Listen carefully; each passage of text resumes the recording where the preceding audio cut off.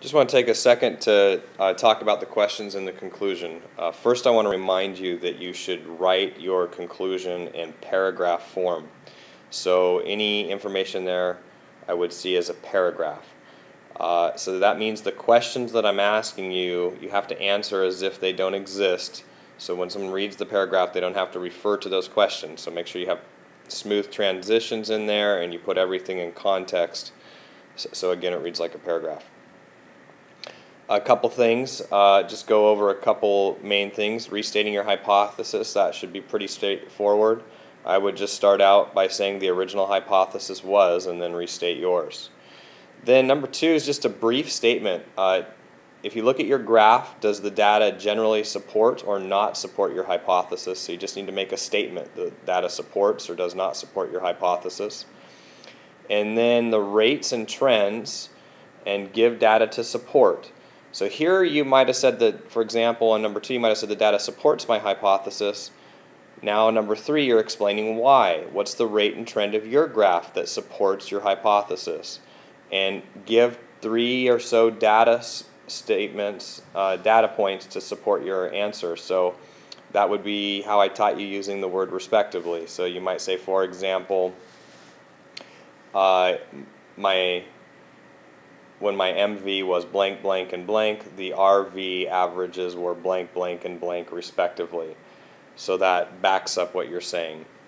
And then finally, uh, why do you think you got the results you did? In the pendulum lab, why do you think angle had no effect? Why do you think um, length of string had an effect, and specifically the effect that you had? And why do you think mass had no effect? You can focus on just what was true for your lab. You don't have to focus on other students' labs. So focus on the variable you tested.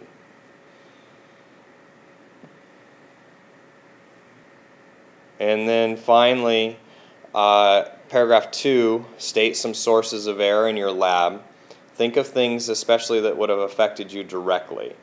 And if you know how they had an effect on the outcome, that would be awesome to state the uh, way it affected the data. And another thing you could do is talk about limitations. I'd be like the number of trials you've done and stuff like that that you didn't have much control over and you couldn't really change. So, uh, sort uh, number of trials is definitely a big one for that. And then finally, and it goes along with the previous two, and you might state it while you're talking about them. How, what ways could you improve the experiment to get better, more reliable data? And then finally, uh, you had a manipulated and responding variable for your lab. Can you think of another manipulated variable that you might be able to test in the future? It doesn't mean that you're going to have to do it, but you want to close out giving people ideas of research that uh, is possible. And, you know, to be honest, you could simply pick a variable you didn't test. Like if you tested string length, you could ask, you know, I wonder what would happen with mass, etc. And you could get more creative. Try to identify both manipulated and responding variable, though. One last comment when you're writing your paper, write it in paragraph form for me. So you're writing your paragraph, maybe here's a sentence, here's another sentence, here's another sentence. Okay.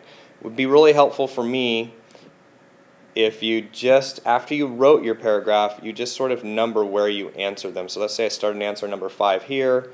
It took uh, two sentences to answer, and then I answered uh, number six here just put a little 6 there, a little 5 there. It makes it easy for me to find the information when grading it.